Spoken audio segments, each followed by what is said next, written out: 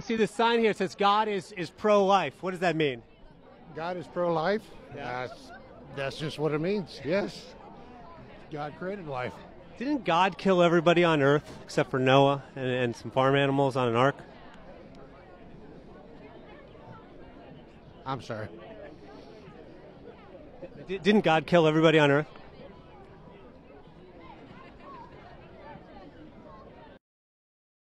The video starts with a question. I see the sign here and it says God is pro life. What does that mean? Now, that's a fair question. And unbelievably, the man holding the sign doesn't seem to know what his own sign means.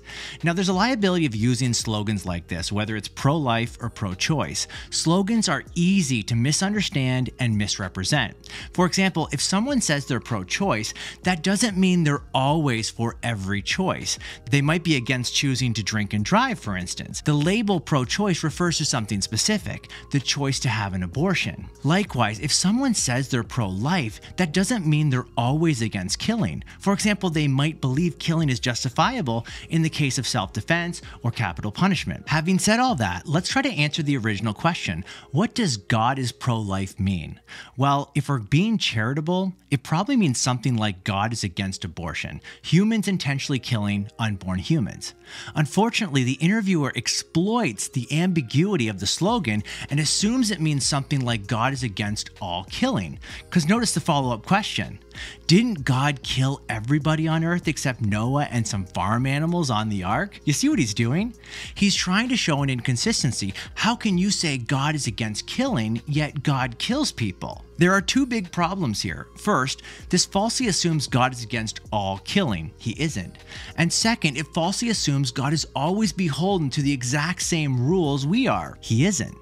Let's take a closer look at the second one because many people are confused about this. Many people think that if an action is wrong for a human being, then it must be wrong for God too.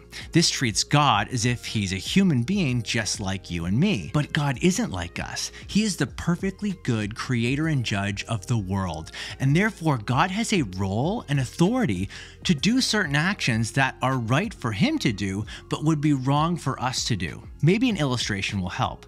One of my favorite apologists is Amy Hall. She says, If I were to lock you in a building for a decade, my action would be morally wrong, even if you were, in fact, guilty of something.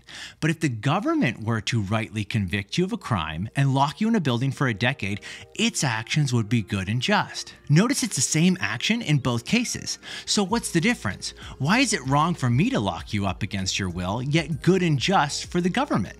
The difference is in the government's role and authority. Amy Hall goes on to say, now apply that principle to God. Just as there are ways that the government can act that are good and just, that would not be good and just if I were to act in those ways, so there are things the ultimate being in the universe can rightly do, such that if any fallen finite human being did the same things, we would rightly recoil. I think one of those things is taking life. The Creator has absolute authority over all life.